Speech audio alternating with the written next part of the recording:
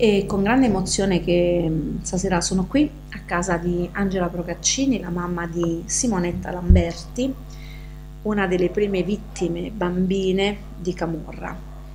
E dico grande emozione perché parlare di una bambina eh, vittima innocente è sempre doloroso, c'è un rapporto di amicizia con Angela, di stima, quindi è doppiamente doloroso. E mm, c'è un grande affetto per gli altri tuoi figli in particolare per Serena, ma non di meno per Francesco e Stefano.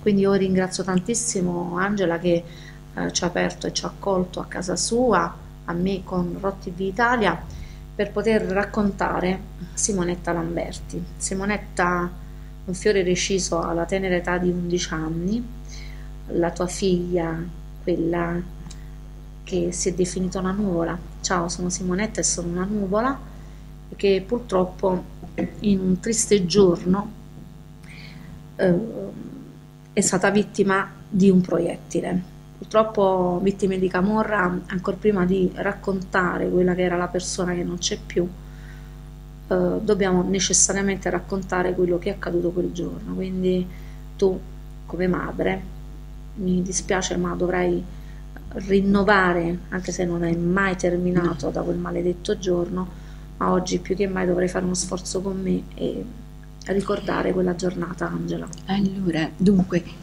eh, Anna, tu sai che io è da poco che ho aperto il mio pensiero, il mio cuore per parlare di questa tragedia che è mi vero. porto dentro, che fa parte proprio di me. Mm, ho deciso di farlo perché penso che forse il parlare con gli altri, agli altri, eh, potrebbe tornare utile. Difatti io ho accettato soprattutto di parlare anche ai giovani, ai ragazzi nelle scuole, proprio perché sono convinta che se si riesce ad arrivare al cuore dei ragazzi, destando le emozioni, solo allora si riesce a ottenere qualcosa, altrimenti i nostri giovani sono, eh, come devo dire, fagocitati da queste screscenze tecnologiche, quindi molto spesso non, non si fanno coinvolgere da altre cose. Allora, premesso questo, ecco io, tu mi chiedi di parlare di quella giornata. Il maledetto 29 maggio. Il maledetto 29 maggio dell'82, che poi è stato solamente diciamo, l'inizio di una tragedia perché esatto. ha colpito Simonetta, ha colpito la famiglia, ma da lì come rivoli proprio incandescenti di lava incandescente sono venute fuori altre tragedie che poi hanno completamente distrutto la famiglia, la casa, l'habitat nel quale noi eravamo, nel contesto diciamo di amicizie, di, di, di familiarità che avevamo a Cava dei Tirreni, dove io mi ero inserita pur essendo io napoletana e molto legata a Napoli. Comunque quel 29 maggio, mi dici tu, io quel 29 maggio eh, ero lì con Simonetta che col suo banchetto, eh, sai quei banchetti di legno che si chiudono e si aprono, aveva aperto il suo banchetto, io ero in cucina a lavare i piatti dopo pranzo e lei si era messa col banchetto vicino a me per fare i compiti. Mi chiedeva perché la nostra convivenza era proprio stretta stretta, soprattutto fra me e lei. E a un certo punto il papà che si era svegliato dal suo riposo pomeridiano, era una giornata splendida, un sole brillante, forse la prima giornata d'estate, eh, e esce appunto dalla camera da letto e chiama il mio primo figlio Francesco che era nella sua camera a giocare con le macchinine, sai, un bambino di, certo. di 12 anni, e dice vieni, vieni, andiamo al mare, andiamo al mare, ti porto a Vietri Francesco, vedi il destino come sta, certo. è proprio veramente incredibile. Francesco disse no papà perché era di solito il figlio maschio che usciva col padre, il mio ex marito era, era un po' come devo dire, sai, quelle famiglie patriarcali per cui il maschio era particolare. Diciamo che Ma, il tuo marito era, era, un magistrato ed era il procuratore di capo del, di Sala Consilina, quindi sì. comunque aveva un incarico insomma, di quelli dove ogni giorno si ha a che fare con delinquenti e con malaffare, certo. ma soprattutto con la giustizia, quindi aveva un ruolo insomma, tu, del resto anche tu vieni da una famiglia dove eh, si è sempre lavorato con ruoli di prestigio. Sempre mio padre anche era un magistrato, certo, infatti il mio non... ex marito era stato uditore di papà. Infatti. Quindi queste, così nacque la cosa, io avevo 12 anni meno di lui, quindi ero proprio una bambina quando ci siamo conosciuti, perché poi allora le, le ragazze non avevano queste aperture che hanno certo. oggi, quindi una ragazza di 17 anni era proprio una, una bambina. Comunque, dopo aver cercato di ottenere la compagnia del figlio maschio, che si oppose ripetutamente, allora si rivolse a Simonetta e mi ricordo, Anna, ma me lo ricordo proprio come se fosse ieri che lei mi ha guardato. Mamma, non ci voglio andare, non ci voleva andare. E il, papà insisteva, eh, si era anche un po' innervosito, forza andiamo, andiamo al mare. E io le dissi, Simonetta, non lo fare arrabbiare papà, vai, vuole venire, vuole, vuole sì, andare perché il padre te. era sempre impegnato, c'era poco, quei figli Quella, quella rara te. volta che appunto vuole uscire con te, facciamo, vai, ti prego, perché sennò si dispiace. E lei mi disse sì, perché mi diceva sempre sì, sempre. Vanno via, vanno via e io continuo a lavorare in cucina. Mi devi credere, non è passata nemmeno un'ora, un'ora e mezza, proprio una frazione di tempo pensando che in quell'intervallo di tempo si era consumata la tragedia, già, perché... tu eri all'oscuro di tutto. All'oscuro di tutto mi bussano, mi citofonano ed era questa mia cara amica Eva Sergio, collega di scuola, insegnava italiano e storia come me nell'istituto per geometri e, e mi chiama, dice Angela, a citofono, Angela, eh, senti ma Francesco, dico no, Francesco sta qui perché, che cosa c'è? Ah, meno male, meno male, perché hanno detto che Alfonso ha avuto un, un attentato e c'era Francesco, perché tutti sapevano che di solito Usciva era il maschio che usciva con il papà. Ma che stai dicendo? C'era Simonetta e mi prende subito una stretta. C'era Simonetta. Insomma, per fartela breve, tolgo le pantofole, metto le scarpe, scendo giù, così com'ero in casa, con la macchina di Eva ci abbiamo perché dice dovrebbe essere al, all'ospedale di Cava dei Terreni. E mi ricordo che siamo passati. Poi era vicino al luogo dell'attentato. Sì, difatti passando il traffico era tutto bloccato, sirene, ambulanze, polizia e questa macchina che era una BMW nera, proprio nera, il colore della morte, ferma lì con tutti, ci passiamo accanto con tutti i vetri crivellati dei colpi e in tutto quel marasma mi ricordo che il, mio sguardo rimase colpito da quella scarpetta rosa, la cosa che mi colpì. Poi questa corsa all'ospedale, arriviamo lì e io chiedo di lei, fatemela vedere, perché io sono convinta che se mi vede si tranquillizza, ha bisogno di me, chiedevo ai medici, nessuno parlava. Vuoi vedere tuo marito? Dice, no, voglio vedere mia figlia. No, ma tuo marito ti vuole parlare e così mi portarono in questa stanza, sala operatoria dove lui era, era disteso. stato ferito anche lui alla spalla destra, alla spalla destra e cranio. poi anche al, alla testa questo proiettile diciamo era l'aveva sfiorato, so inciso ma non, non, ferito al punto tale da provocare e appunto lui era danni. già un po' inebetito dalle, dai, dai farmaci che eh, sai questi farmaci per calmare certo. il dolore, non lo so, per l'operazione, non ti so dire. L'unica cosa che mi disse Vai da Simonetta, mi disse. Ed io allora con la macchina della polizia mi caricarono lì e andai.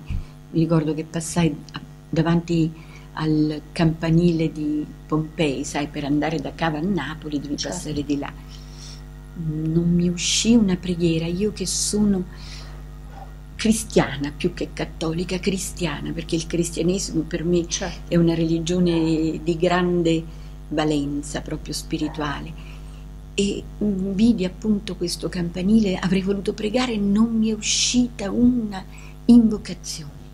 No, io già sapevo che c'era qualcosa di irrecuperabile. È vero che una madre sente, no sì. Angelo?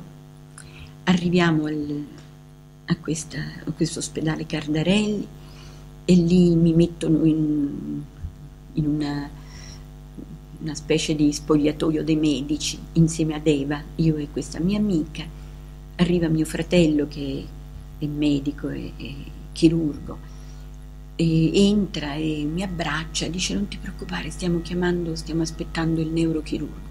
Già solo sentire neurochirurgo, certo. io che non sapevo niente, dico la cosa veramente pericolosa, tragica, ma io sono una persona che, che non urla.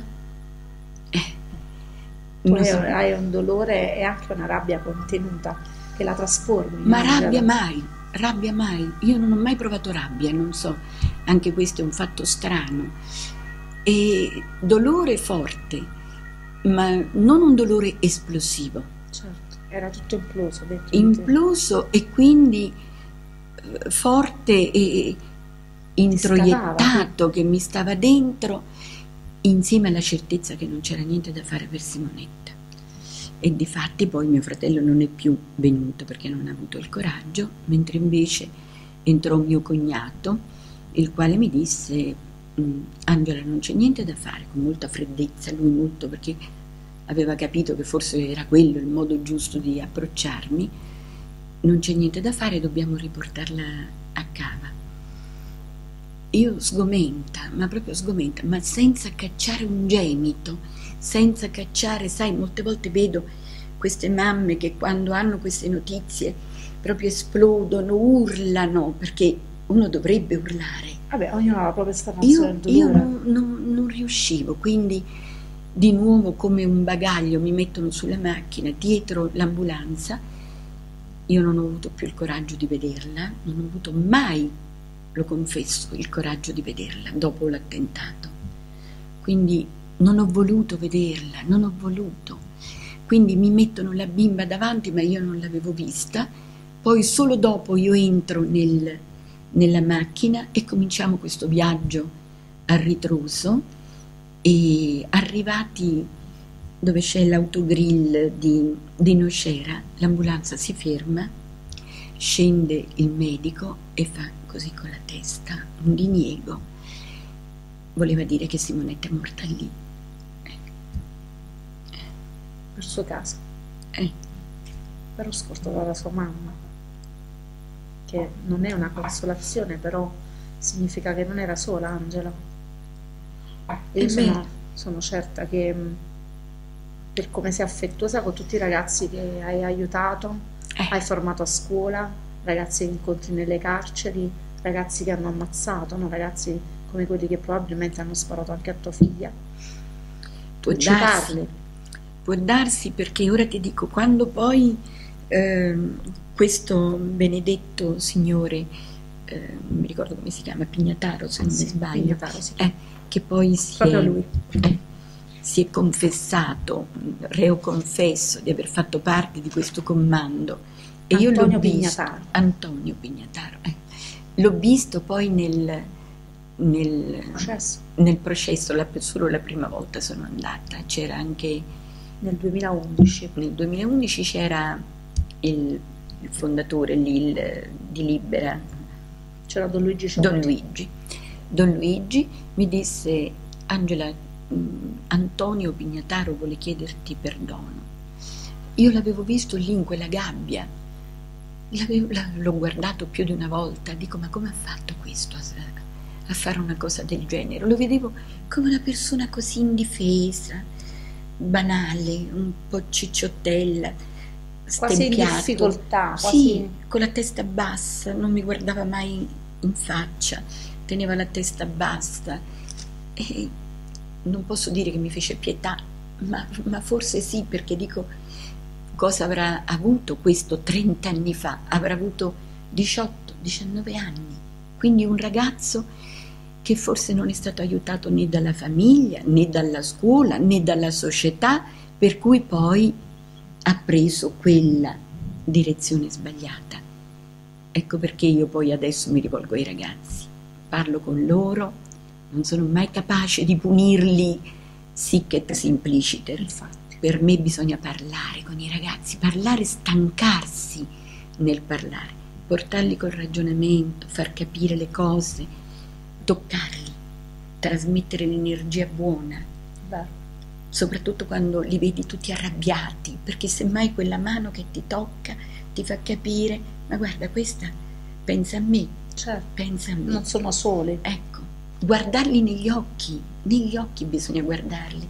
Di solito io questo dico anche nella mia opera così di di, di, preside, chiamiamola preside, un po' anomala. Sei stato, però sei stata... Lo sono ancora perché sei nella preside. scuola, sei stata per tanti anni nella formazione del nautico a Bagnoli, che veramente eh. ho incontrato di recente, lo dico perché mi è capitato in un contesto completamente diverso di incontrare il professor K e eh, per puro caso ho detto conosco Angela Procaccini e lui mandale un bacio, un abbraccio, la miglior dirigente scolastica, la miglior presa che io possa aver avuto, una donna che non ha mai lasciato solo i suoi fanciulli, i suoi alunni, ma anche neanche noi docenti, ci ha supportato presente agli incontri, alle assemblee, veramente c'è 365, 365 gradi di abbraccio dai tu, quindi questo è una cosa importante. Tu hai parlato di sguardo, io credo che Antonio Pignataro dalla, dal Gabbio non non avrebbe mai potuto sostenere il tuo sguardo perché sarebbe stato quello di, di Simonetta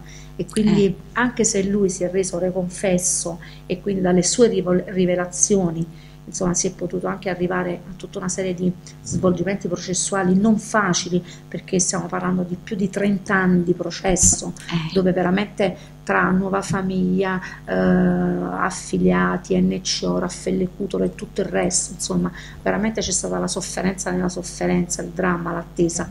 Ed è quasi alla fine sembra quasi che uno poi li deve anche ringraziare questi che riescono a mettere un punto laddove una ragazzina che voleva soltanto continuare ad essere la figlia della sua mamma e avere il suo vestitino giallo e i suoi lunghi capelli biondi alla fine perde la vita perde la vita perché per puro caso insomma quel giorno il papà che per il lavoro era poco presente sì. Eh. e, e quindi tu capisci che te lo dicono chiaramente che Simonetta il suo cuore ha terminato di battere proprio lì proprio lì e poi siamo ritornati a casa. Lei è stata messa, l'hanno sistemata, vestita.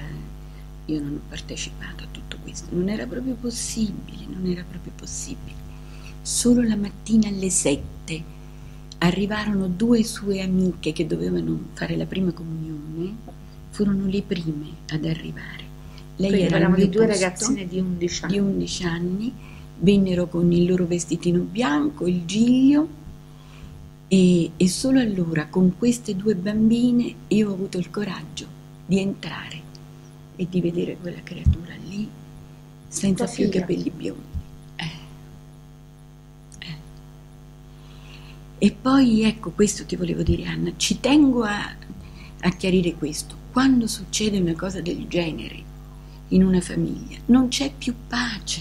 Certo. Non c'è più pace. Ci muore un po' tutti. Sì, mh, mm, è inutile pensare di poter ricostruire, sì, si, si, va, tenta, avanti, si va, avanti, si tenta perché lo devi fare per forza, se tu hai un minimo senso del dovere e appunto del, anche di, di, di affetto filiale per gli altri figli, devi farlo per forza, ce ne vuole tanta di forza, tu non puoi nemmeno immaginare, ma ti senti crollare tutto intorno, il padre non c'era più.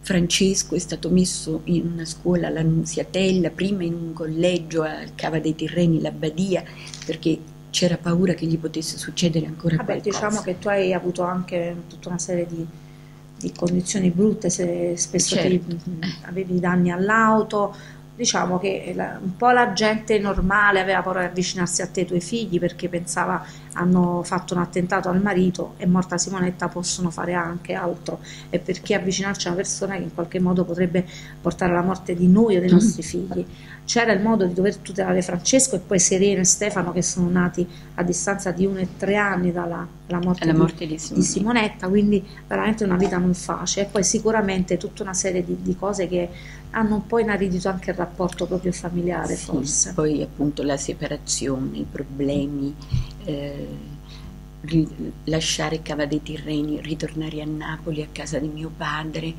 in una cameretta dove vivevamo io, Serena e Stefano e avevamo una bella casa, non, la, non l'avevamo più e, e, e, lì poi c'è ricostruire, ricominciare da zero. Serena certo. con la scuola, aveva lasciato tutte le sue amiche, Stefano era il più piccolo, forse quello che ha risentito meno, ha risentito meno perché diciamo aveva quattro anni, età, quindi. Ecco, quindi i ricordi spiacevoli. Invece quella che ha sentito Francesco, il mio primo, ho il dovere di dire, eh, ha avuto veramente tante difficoltà perché si sentiva in un certo senso responsabile perché il suo no aveva, aveva sì segnato la morte, di... la morte della sorella e ha vissuto per tanti anni con cui pensate che significa per un ragazzino di 12 anni sentirsi responsabile indirettamente della morte della sorella. A tutto questo non, non, non si pensa. Certo. E quindi anche Francesco si è chiuso, è diventato molto introverso, poi è entrato nella Nunziatella, poi ha fatto il concorso nella Guardia di Finanza. E lì nella Guardia di Finanza ha cominciato a fare le cose più, come devo dire, pericolose.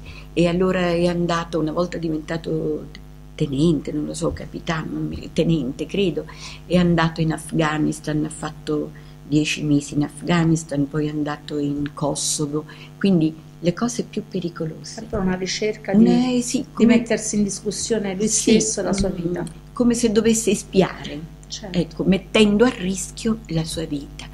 E, e potete immaginare che cos'era per me vivere poi a Napoli con questo figlio che nel mondo si trovava nelle zone più pericolose. Che bastava accendere il telegiornale, quando non riuscivi a sentirlo, immagino la pena nella Infatti pena. una volta mi ricordo che ero, aspettavo il, l'autobus e sul display dell'autobus leggo attentato in Afghanistan, non so, allora io terrorizzata, però avevamo un ponte radio con cui si comunicava direttamente e quindi mi tranquillizzarono, dice no no, non si preoccupi, non si preoccupi, tutto a posto, ma si vive di palpiti. Eh. E, e, quindi questo è stato. E poi c'è Serena, Serena che... Serena io dico è... Serena anche se lei si chiama Serena Simonetta, nata un anno dopo Simonetta, la morte di Simonetta, mm.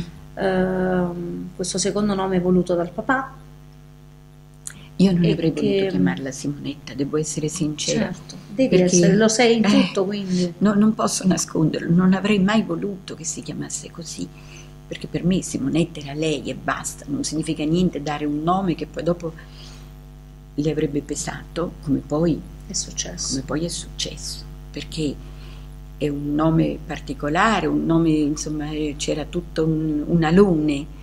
Eh, di sacralità e di mistero intorno a questa creatura che lei non aveva mai conosciuto. Quindi anche la sua fantasia, soprattutto nell'adolescenza, era mm, partita alla ricerca di questa immagine di sorella che lei non aveva mai conosciuto e che secondo lei, per la cui morte secondo lei aveva segnato la sua nascita. Quindi, Quindi qualcosa di inverso rispetto a quello che era successo a Francesco. Pensate un po', ma eh, eh, sono cose veramente tremende, allucinanti. Questo per far capire a chi, qua lo devo dire per forza, eh. perché proprio questo uh, va um, proprio diretto ai giovani che certo. decidono di andare da quell'altra sponda, no? da quello del facile guadagno, io dico quello dell'omertà, quello del, della vita facile, ma che poi è una vita di camorrista. Alla fine io dico sempre che l'odore è il migliore che puoi metterti addosso, il profumo più costoso non ti cancellerà mai quell'odore di cadavere che loro portano, perché loro portano la morte propria altrui, quella che eh. provocano oppure quella che, che riceveranno nelle carceri o in qualche sparatorio per vendette trasversali, perché periranno come sorci sottoterra, nonostante Purtroppo. il denaro che... Eh. Questo significa quando un, un giovane uccide una bambina o un altro giovane e non uccide soltanto quella persona, Angela sta cercando di farvelo capire in tutti i modi, uccide una famiglia intera, porta con sé una parte del cuore di tutti, di chi c'è stato, di chi era prima, di chi è venuto dopo, perché è un vuoto che non si può mai colmare, è un affetto che viene tolto, sradicato, proprio estirpato dalla radice per quanto ti resteranno dentro tutti i semi perché sono germogli di vita. Hai detto Però... bene così perché è proprio quello a cui io, è proprio quello che mi dà la forza di parlare anche adesso, è proprio questo, pensare agli altri, pensare ai ragazzi, ai giovani. Vi prego ragazzi, non fatevi né deviare né turbare né allettare da queste che sono cose che poi vi tormenteranno per sempre. Evitate, evitate pensate al dolore di una mamma, al dolore di una famiglia, è questo a cui dovete pensare. Io voglio dire che alla fine è una magrissima consolazione, però ehm, da poco maggio si è concluso il processo, insomma tutti e tre gli appelli, ci sono dei colpevoli, mandanti e quant'altro c'è ancora da definire una serie di cose giuridiche, però io non sono qui per raccontare questo, questo e tutte le supposizioni, le azioni, i fatti veri o quant'altro giuridici io rilascio, mi permetterei, alle aule di tribunale. Io certo, non sono un avvocato, giusto. io sto parlando con Angela Procaccini, la mamma di, di Simonetta, mi, mi, basta ecco, che tu mi hai mostrato un album bellissimo di foto, io ne allegherò qualcuna a questa intervista, ne farò un album anche per, per face, su Facebook, nel social network che, che serve se utilizzato nel giusto modo, serve ai giovani, serve a fare la giusta pubblicità, serve a far rincontrare chi è lontano. Io ho ritrovato delle mie amiche di scuola che vivono in America, in Af- una anche in Afghanistan. Ho, ho, ritrovato degli ex allievi. Che è una cosa bellissima, bellissima. per te che, che, fai formazione, l'hai fatta, Del la 90, a fare. Di Quindi, Cava dei Tirreni, che adesso mi hanno invitato il 16 dicembre a una cena, mi verranno a prendere. È bellissimo. Ragazzi straordinari, cosa. veramente straordinari, a cui ho lasciato forse un messaggio positivo. Io penso che il karma di Simonetta era quello di morire bambina e il mio, di restare è bambina. Di, e il mio è quello di continuare a vivere per ricordare lei e per aiutare i giovani che, che hanno bisogno di aiuto. Questa è la mia idea, ne sono convinta. Io nel, nella cosa brutta di così, ne sono certa anch'io, voglio dire che a Simonetta sono state intitolate tantissime strade, piazze, scuole, eh, biblioteche, più biblioteche, una proprio nel, nella scuola dove ha insegnato Angela è stata preside, Angela Procaccini che è il nautico di Bagnoli, sì. eh, è stato intitolato lo stadio di eh, Cava dei Tirreni, ma posso dire che c'è una piazza nel comune di Cautano, nel Beneventano, eh, centri eh, per le donne, per bambini, veramente c'è Simonetta vive oggi più che mai, io dico sempre profuma di vita, profuma di eh, vita, sì. come quella fotografia bellissima, il suo vestitino azzurro, capelli lunghi e c'ha un, un coso per prendere le farfalle. Sì, il retino. Il retino per prendere le farfalle è bellissima. Quella è una delle prime foto che mi ha mostrato Serena. Io sono mm. molto amica di Serena che, che saluto. E, ehm, oggi lei non è qui, e, ehm, però voi la conoscete perché l'ho intervistata altre volte. E, è una donna coraggiosa. Serena. Molto. E, una donna coraggiosa, veramente. Fatto, è stata lei la prima a riportare in vita la sorella, Brava. si può dire, perché noi, io te l'ho detto prima, per un po' per paura di parlare di lei, per far riuscire questo, questo magma di dolore che ho dentro, mh, mm, cercavo di, di evitare di, di, mettere in piazza il mio dolore, anche perché dovevo continuare a vivere, a lavorare per, per mantenere, per mantenere i figli, per portare avanti la famiglia rimasta sola. E, e quindi cercavo di, di, metterla così, di metterla nel mio cantuccio. Lei invece in maniera proprio tenace, tenace proprio. Una donna così gracile, di una magrezza eh, poi così eh, poco appariscente, serena, è una che quasi chiede scusa se, sì, se entra, sì, se seduta, quando alla fine veramente eh, noi dovremmo ringraziare lei per eh. tutte le volte che è presente, che è, è affettuosa. Lei è riuscita mm-hmm. veramente a far conoscere Simonetta a tutti. È vero. È riuscita con la sua tenacia, lei che all'apparenza, io dico quasi un, un, una spiga di grano serena, cioè portata al vento, però sempre retta, sempre stabile, cioè mai si è fatta strappare presenti alle udienze con Luigi Ciotti eh, da sola eh, una forza, io dico, disumana. Ha partecipato alle marce di Libera Tutte, dovunque. 21 marzo ce ne siamo fatti marce eh. insieme a portare bandiere e a sempre, ricordare tutti sempre. i nomi delle vittime innocenti di criminalità perché poi quella è la cosa più bella, no? scegliere di essere liberi a modo nostro eh. e ringraziare sicuramente Luigi Ciotti che per ricordare appunto gli uomini di scorta di Giovanni Falcone perché eh. veniva sempre ricordato Giovanni Falcone e Francesca Morvillo dicevano ma ci sono, ma ci sono anche gli e hanno un nome e un cognome e, certo. e Serena più che mai perché comunque va Serena Serena dice mia io sono la sorella di Simonetta Lamberti io infatti sono una delle poche molti la chiamano Serena Simonetta invece io credo che Simonetta e Simonetta, e Serena e Serena, quindi ah, sono le due, figlie, le due figlie di Angela, eh, ognuna ha il proprio dolore e lo porta, perché per me Simonetta continua a esistere in un modo diverso, ma c'è. c'è Io la quello... sento, guarda, veramente ti assicuro una presenza che, che avverto. Anzi, io dico che molte volte è lei che mi dà la forza, ma come farei a fare quello che ho fatto? A portare avanti tante battaglie, a fare concorsi, a, a, scrivere libri, a presentare libri, a parlare, parlare, parlare con i miei ragazzi senza mai stancarmi. C'è lei, c'è lei, io ne sono convinta. Quindi c'è qualcosa che rimane, un'energia, un'energia che in questo caso è positiva. Assolutamente.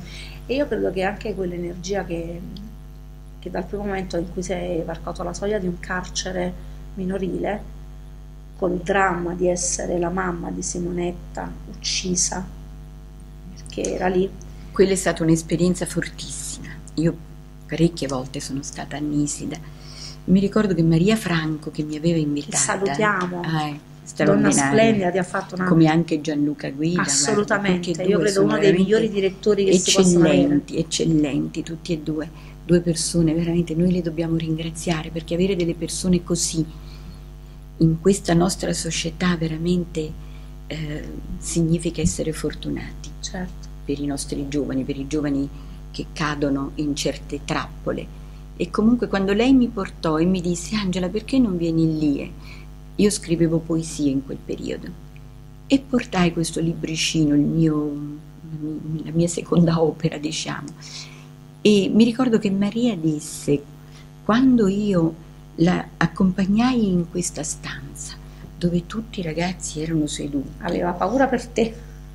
cioè se la mangiano cosa viva. ho fatto? Cosa ho fatto? Come farò adesso? Non ti aveva mai sentito parlare Maria. allora um, i ragazzi tutti, c'erano naturalmente i sorveglianti, certo. non so come certo. si chiamano, ma comunque sono ragazzi particolari, eh, non è che siano dei eh, dei ragazzi di un college, quindi c'era quell'atmosfera un po' particolare. Allora lei preoccupatissima. Ebbe timore dice, per te? Io, sì, aveva paura per me.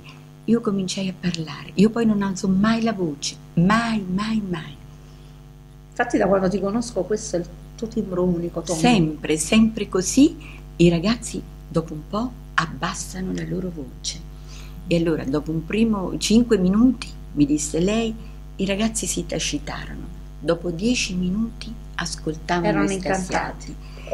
Alla fine di quegli incontri abbiamo prodotto delle poesie stupende, loro le hanno prodotte, perché io sono convinta che quando tu parli a dei ragazzi particolari, a tutti i ragazzi, ma a dei ragazzi particolari che arrivano a certe situazioni perché hanno un disagio dentro di loro, i sentimenti colpiscono. Allora quando tu parli della lontananza degli affetti, dell'amore, della nostalgia della casa, del dolore, della solitudine. Sono sentimenti universali. Assolutamente, tutte eh, le che possono, mondo, posso sentire contesto. io, ma li sentono anche loro, forse certo. tanto più.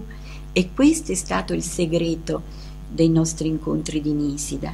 Parlare di sentimenti, suscitare emozioni, arrivare al cuore di questi ragazzi che hanno, hanno tanti problemi ma tanti sentimenti, bisogna solo portarli fuori, quelli buoni. Penso che le persone come te, come Gianluca e come Maria e tanti altri che a volte vengono e sono partecipi, partecipi sono quelli che servono, servono proprio a fare, io dico la ripulitura della gabbia che chiude i sentimenti nel cuore, c'è tanto fango, però se si vanno poi a scardinare una serie di cose, io credo che il peggiore ha, come giustamente dici tu, ha i sentimenti, certo. quindi c'è quella forza interna e poi la volontà di, di ripulirsi.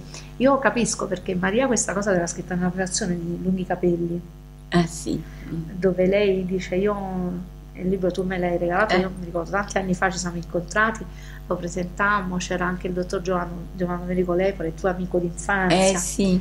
E, e, fu una delle prime volte che io ti ascoltavo, no?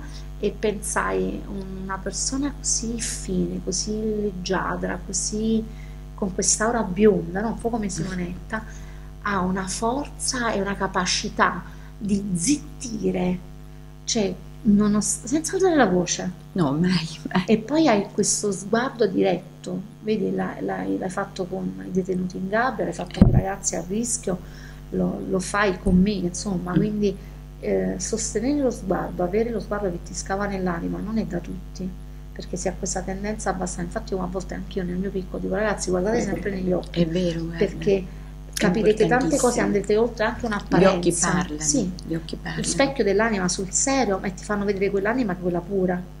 Quella che magari a volte vuoi nascondere. Quella vera che no. tu semmai non, non vuoi far trapelare, invece viene fuori attraverso gli sguardi. Infatti un altro mio libro si intitola proprio Sguardi. Infatti, eh. che è anche molto bello. Un altro episodio ricordo di Nisida che mi resterà per sempre impresso. E lo scoprimento delle, delle maioliche, delle ceramiche dell'Aquilone, non so se tu l'hai mai visto. No, però me ne hanno parlato. Su una parete esterna eh, di una delle, delle, delle, delle case di, di Nisida c'è un grosso aquilone di colori diversi, ogni mattonella quadrata, eh, secondo gli anni, ha dei colori diversi. per esempio la mattonella dell'82 che era quella appunto che riguardava anche sì. Simonetta, tutti gli uccisi dell'82 col loro nome erano un determinato colore. E mi ricordo che quando è stata scoperta, scoperto questo aquilone sfavillante al sole perché le maioliche brillano, sì, luccicano, luce, ecco, sì. quindi riflettevano questa luce e uno dei ragazzi mi disse hai visto maestra, loro dicono maestra, hai visto? Lì c'è Simonetta e mi fece vedere lui, la... io mi commossi terribilmente, lui mi abbracciò, era un assassino, mi abbracciò con tanto affetto e con tanta forza. Quell'abbraccio io non lo dimenticherò mai più, mai più. Certo era un quindi ragazzo che aveva ucciso. Anche uno che uccide può ritrovarsi. Ma quindi. certo, certo, non bisogna mai disperare, mai perché a volte loro vengono ricattati, l'hai già fatto, quindi non ti eh. puoi redimere, oramai sei condannato, sei segnato sì. giocano su questo, poi i giovani magari che non hanno un grosso grado di cultura, no? che ovviamente perché cercano sempre di eh, eliminare ogni tipo di informazione scolastica a questi giovani, perché gli devono togliere la, la, la forza e la volontà la di possibilità di pensare, di scegliere, brava, di essere liberi, quindi così. questo è il primo deterrente, quindi eh. io dico sempre ai, ai, genitori, anche se avete difficoltà economiche, mandate i vostri figli a scuola, almeno la finale scolastica è obbligo, poi magari lavoreranno, io conosco un sacco di ragazzi che lavoricchiano e vanno a fare la scuola serale pur di arrivare a un diploma, perché dice professoressa, eh, oppure a me mi chiamano una maestra libera eh. e, e, mi sento molto libera, dicevano sempre eh, perché io voglio andare a scuola, perché voglio poter fare qualcosa, almeno un pezzettino di carta io me lo devo eh. prendere. Allora tu vedi quanta volontà c'è, no? quanta voglia. E, e io sono certa che ehm, nel mio immaginario, no? io guardando le foto di tua figlia, foto che mi ha mostrato anche Serena, che a volte mi ha inviato privatamente e che restano a me private, perché soltanto quelle che tu vorrai mostrare. Poi con Serena c'è un rapporto di amicizia, quindi quando a volte eh, sai, so. ho trovato una foto uh, di Serena, di Simonetta e, e, me l'ha sempre raccontate come se ci fosse stata anche lei in quel momento in cui veniva usata la macchina fotografica. Sì. Quindi è, è, bellissima questa cosa, è dolorosa insieme. Eh. Però è, è, bello ecco, che ci sia. Um, questa presenza di Simonetta eh, in tutte le cose che fai, da manifestazioni al giorno della memoria il 21 marzo, a stadi intitolate, stadi e quant'altro, ma soprattutto il lavoro che svolgi. C'è un disegno bellissimo che tu conservi tra i tanti. No, beh, ce ne sono tanti. Sì, però abbiamo scelto questo, questo che che è pieno di vita. È pieno di vita, io dopo lo fotograferò, lo mostro giusto velocemente è un albero di ciliegie, quindi ah, c'è il nutrimento, no? il frutto. Eh.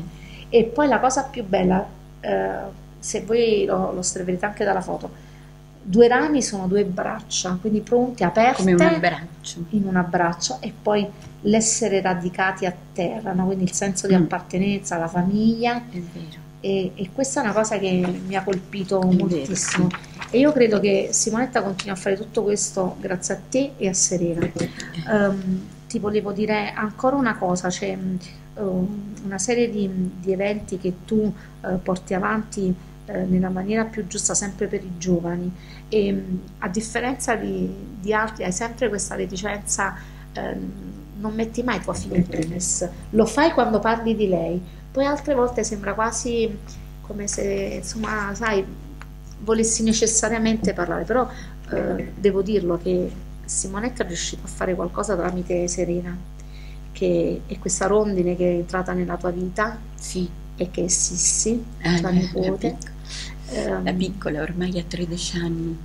Io una ventata. La prima volta che ho visto Sissi aveva penso 7 anni. E, ehm, aveva questi capelli lunghissimi, cioè era, mi ha impressionato perché in un gioco eravamo a Portici mm. e eh, Serena era sulle scale, si, si correva e in un gioco di luci, questo pomeriggio quasi estivo, a me mi è parso vedere Simonetta. Eh, sì, è vero. Tutti lo dicono. La frangia, il capello biondo, era, adesso è cresciuta, quindi adesso più signorina, era magra come, cioè nel paradosso, serena e bruna, nasce Sissi, che praticamente la cosa più vicina a sua zia Simonetta e a sua nonna. Eh sì, è vero, è vero. Io voglio dire un'ultima cosa per quanto riguarda soprattutto i ragazzi. Certo. Penso che possa essere, possa tornare utile. In questo caso lo dico ai, agli educatori, ai formatori, ai docenti, ai genitori. Io taglierò tutti i docenti, i miei amici in questa intervista e so che la guarderanno e l'ascolteranno con attenzione e la porteranno anche a scuola. Io penso che bisogna perdonare Capisco che certe volte i ragazzi commettono qualcosa che, che è anche grave, ma grazie, commettiamo anche noi adulti delle cose che sono gravi, quindi loro che sono infieri, logicamente può capitare, non hanno ancora l'equilibrio, non hanno ancora la saggezza e quante cose facciamo noi adulti che certo. non andrebbero fatte. Allora, ecco, l'arma migliore è il perdono, parlando però, sempre parlando perché perdonare e far capire di aver perdonato per il bene della persona può essere molto importante.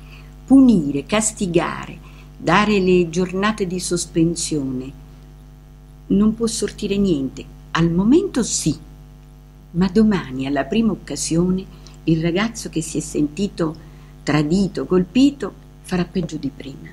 Allora far capire, perdonare, ma far capire il perché, perché si fa per il suo bene e penso che questo possa essere più utile. D'altronde, se non mi sbaglio, Lincoln diceva vale più un atto di misericordia sì. che un atto di giustizia. Io la trovo stupenda questa frase, perché ti fa capire tutto. Se tu usi la misericordia, siamo appunto nell'anno della misericordia, la misericordia nel senso di comprensione, di, di apertura, di accoglienza, di perdono, ecco, se tu usi questo atto, puoi recuperare. Se invece ti metti contro un ragazzo, ne puoi fare poi un, un delinquente, un disagiato, un deviato. Quindi fare molta attenzione. Però deve capire che tu lo fai per il suo bene. Certo. Ecco, questa è una cosa che ci tenevo a dire. Noi ci abbiamo la conclusione. Io mm, voglio, voglio chiedere a Angela mm, le, io, io, non sono madre, a volte dico sono mamma di tanti ragazzi che ho incontrato e che spero di incontrare ancora nel, eh. nel mio cammino, insomma, e di poter fare qualcosa per loro. Um, io voglio immaginare, non l'abbiamo detto Angela, oggi è il compleanno di Simonetta. Eh. Noi ci siamo sentite la settimana scorsa dopo veramente oramai anni che non c'era questa forza, non c'era questa forza eh, quando sembrava che volessimo fare, ho avuto io un dolore insomma per eh, la mia mamma. È stato un periodo difficile. E poi ci siamo risentite, ci siamo risentite con grande spontaneità. Dai Angela, raccontiamo Simonetta, ti ho detto. Sì. E tu hai detto sì. La prima volta hai detto sì, facciamolo. E l'hai detto convinta, l'hai detto desiderosa di ricordare ancora una volta Simonetta e abbiamo preso le agende. Dall'altro lato il telefono, tu con la tua, io con la mia, ho detto ma che vogliamo fare? Ma scegliamo lunedì perché lunedì è un bel giorno, dai. Poi, ma facciamo, ma il 27, il 28, Angela, vogliamo incontrarci il 21? È un bel giorno, è legato alla primavera, mi piace il 21. E Angela mi fa, Anna, il 21. sai che il 21 è il compleanno di Simonetta? Io sono restata un attimo con questa cornetta e ho detto, mio Dio, come mi è venuto di dire il 21? Io non lo cioè, no, sapevo che Simonetta era nata nel 1970, a novembre, ma vi giuro che non ricordavo che era nata il 21. 21.